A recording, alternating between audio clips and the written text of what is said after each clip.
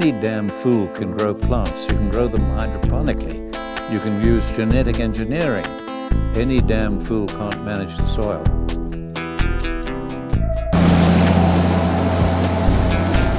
The only tool now that can reverse desertification is livestock. There is no other tool. No technology can ever do it. Resting land is causing the problem, and fire can't do it.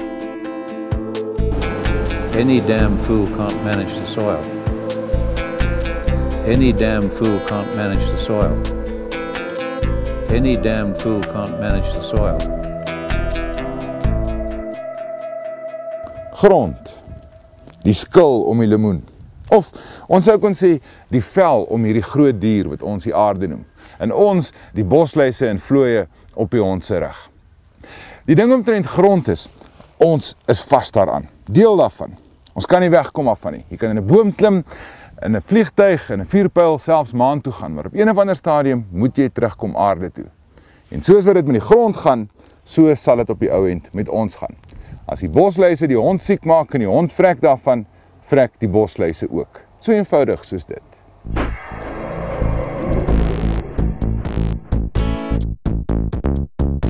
Soos amper altyd begin ons storie in die middel van die nag boonop in gietende reën en dit in die winter. Altyd raad dit nou. Ek weet dit is baie vroeg. Maar nou ja, daar's 'n lang pad voor. Ek wil die res van die span gaan voorstel aan iemand baie spesiaal en hy bly bo in Zimbabwe, naby die Victoria Waterval. Sy naam is Ellen Savory. Hy's 75, loop altyd kaalvoet en bly in 'n een eenvoudige rondawel. Hy hou nie spesifiek van beeste nie, maar boer met hulle. Op sy dag was hy al die hoof van natuurbewaring in Nyasaland, omstrede leier van die Rhodesian Front Party en vandag waarskynlik ons enigste hoop om verwoestyning te stop. Hallo Jakkerak. Of ek maak jou van of ek maak die van. Jou keuse. Partykeer wonder ek oor die wysheid om met 'n trok vol vroumense deur Afrika te ry. Dis al lank na donker toe ons ons eerste uitspan bereik by Nata in Botswana. En vroeg die volgende oggend is ons weer op pad. En teen die middag slaan ons kamp op, nog steeds in Botswana, teenoor Zambië en naby die Zimbabwe grens. Johannes, ek weet nie hoeveel ure nie terug hier weg met die trok op soek na sout om mee te braai. Ons het nie die vaagste benul waar ons is nie. Ons is iewers op die oewer van 'n rivier op 'n kampterrein, tente opgeslaan reg om te braai en te kamp. En ehm um, toe ry Johan om te gaan sout koop en hy het net nooit weer teruggekom nie. So ek weet en die en die ape wil ons opvreet in die proses wil ek net sê. Maar ek weet nie of hy ooit gaan terugkom vir ons nie. So as hierdie ons laaste video ooit is, moenie ons vergeet nie. Maar net na donker is ek terug met sout en 'n verrassing vir ons Afrika nuwelinge. Ek verneem ek eet bokvleis in Botswana. En dit is net so goed soos enige skaap choppy in Joburg enige dag. Kyk hoe die muskiete my geëet laat my oë amper toegeswel is. Is nie lekker nie. Ons het sulke snaakse bok chops probeer gisterand en dit het na 'n wonderlike idee geklink, maar vandag voel ek nie meer so vars nie. En met die dames mooi nederig en stil vir 'n slag, pak ons die laaste skof aan. Zimbabwe lyk mooi na al die reën. Dis my tweede besoek aan Ellen en hy beweer dat ons meer beeste moet aanhou, ons veld intenser moet laat bewy en dat ons nooit veld mag brand of laat rus nie. En die ergste is, hy maak sin vir my. Die trok is mooi, maar hy stadig en is die middag van dag 3 toe ons by sy grond indraai. by sy huis uitkom en deur 'n hele ander pad. Nou gaan ons alsvoor vasry wat in los gekrap het. Omdat mense van oral oor die wêreld kom kyk na Ellen se metodes, is hier 'n soort van 'n lesingslokaal waar ons sommer kamp opslaan. Adam bly om die beurt in die FSA en Zimbabwe. En wanneer hy hier is, bly hy en sy vrou alleen onder op die rivier se oewer. En dis waar ons gaan dagse. Ons kuier sommer in sy openlig sitkamer en dadelik praat ons grondsake. Verwoestyning is niks anders as die stadige dood van die aarde nie. Maar genesing is gelukkig nog moontlik, sê Ellen. Die antwoord lê in die grond, wêreldwyd en ook in Suid-Afrika. South Africa's biggest single problem is bare soil. I know South Africa pretty well. Been working down there and, you know, for a long time, and um, it's, you, you don't look for bare soil in big bare patches. You get that when it's very bad. You need to look down amongst the plants. Okay, so when you're looking at good felt in South Africa, usually it's got over 50% bare soil. En dis 'n ou probleem waarvoor ons nog altyd die verkeerde sonnebok wou slag. Gaan kyk maar na hoekom die ou beskawings ondergegaan het. People, most of my life, have blamed cattle, and they still are, and livestock, and I did so. Okay, but if you look at the early civilizations in the Americas, irrigation based, um, in dry areas, they failed and they had no livestock.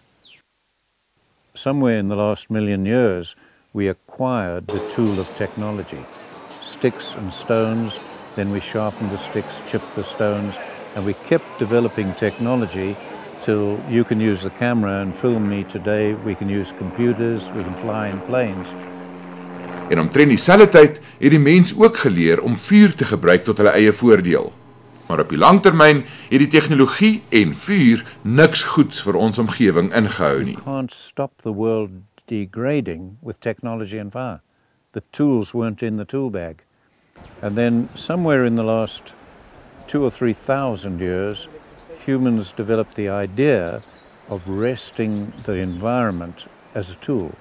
So you can train in any university in the world, in any profession in the world, and to manage the environment at large, you will only be trained to use technology, fire, or resting the land. Dit is waarskynlik sê Ellen hoe die groot gedeelte van sy plaas gelyk het toe hy hom aangeskaf het. As jy kyk, jy sien hier's kaal grond oral, hier's 'n paar plante wat groei, maar eintlik omtrent niks nie. Dis hoofsaaklik maar net kaal grond.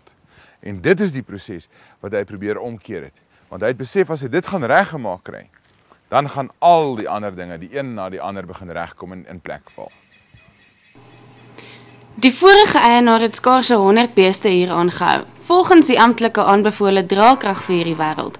En het volgens voorskrif sy weiding geroteer en ook gereeld die veld gebrand en laat rus.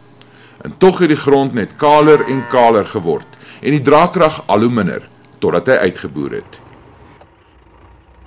This land along the river here was about 85 to 95% bare. This river was going dry except in very good years. Now, we've increased the livestock 400%. We would double the cattle tomorrow and go up 800% if we could get the money and the cattle. We are desperate for more cattle because we're battling now to keep pace with the production of the grass, even in a drought year. En sê hy, dis as gevolg van die meerbeeste en nie ten spyte daarvan nie. Ek moet sê dis ongelooflik om te sien. Ons stap nou al die pad van daar af om te gaan kyk na die water hier onder wat Ellen wil wys. Desember maand toe ek hier was, het my ook kom wys. Maar toe het ons met ons voertuie al die pad tot daar gery, want hierdie was net een kaal stuk grond gewees.